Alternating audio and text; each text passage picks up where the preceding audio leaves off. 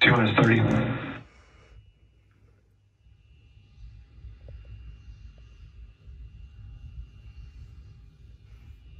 Copy.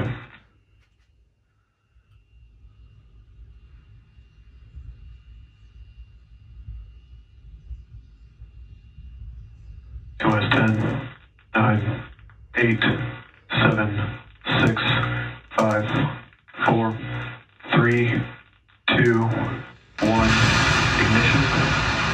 We have.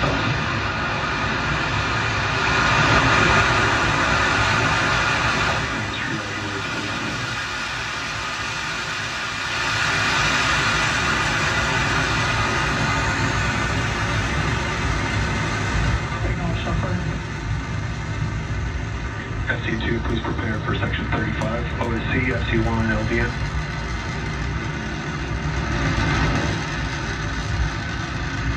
Plus 30 seconds, Starship 10 has liftoff. It's headed to 10 kilometers on its test flight from Boca Chica in Cameron County, Texas.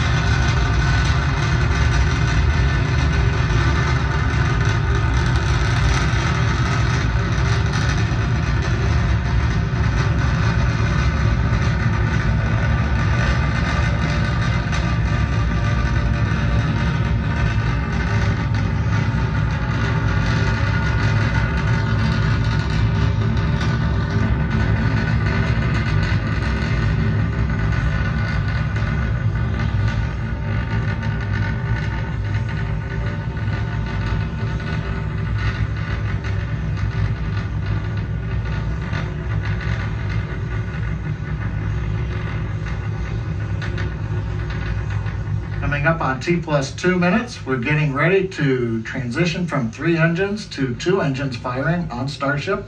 We'll be shutting one engine off, that's intentional.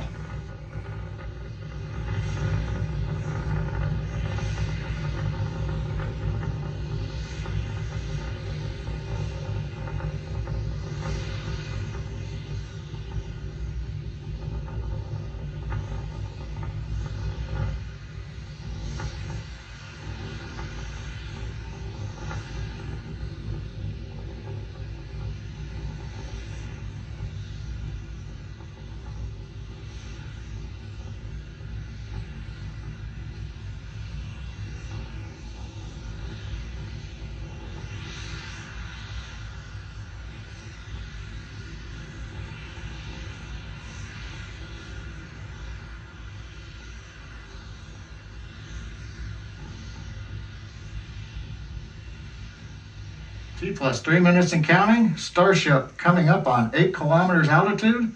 We're getting ready to shut down the second engine. This is intentional. I'm clear. Oh, very nice, very nice. Okay, now to switch over to the header tank for the one engine.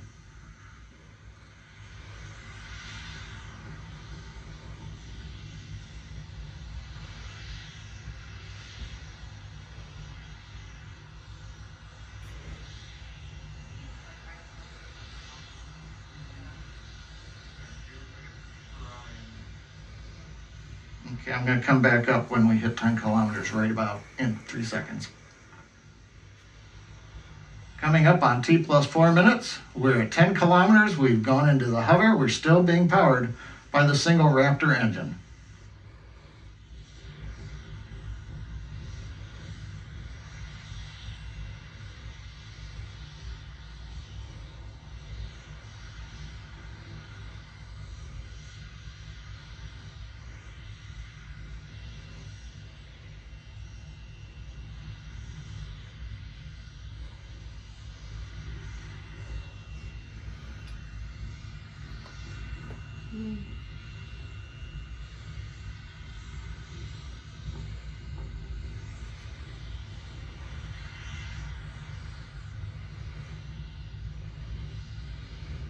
Plus 4 minutes and 40 seconds. Starship has transitioned. It's flipped to the horizontal mode, beginning the descent back to the landing zone.